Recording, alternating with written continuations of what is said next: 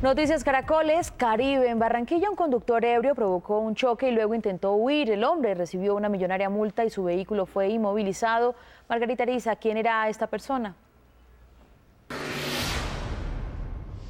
Hola, muy buenas tardes. Según testigos, esta persona manifestó ser diputado en Norte de Santander, pero las autoridades después comprobaron que se trataba del asesor jurídico de la empresa de acueducto y alcantarillado de Cúcuta. A él le realizaron la prueba de alcoholimetría y dio tercer grado de embriaguez. En el video se observa el momento en que agentes de la policía tratan de controlar a un hombre en aparente estado de embriaguez que minutos antes había provocado con su carro un accidente en una calle del centro de Barranquilla. Lo que encontró, él tiene papeles de todo eso. El hombre que conducía un vehículo con placa venezolana estrelló un taxi y emprendió la huida, dijo uno de los testigos del accidente. Entre taxista y policía eh, logramos agarrar al conductor ebrio.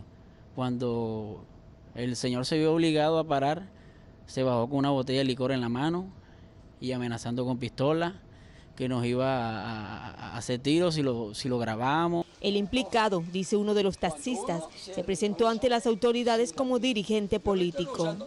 José Estupiñán Rodríguez la cosa. ¿Y qué dijo que era? El señor era diputado del, departamento de Santander, Cúcuta. Eso fue lo que, lo que dijo el señor. Las autoridades confirmaron su identidad.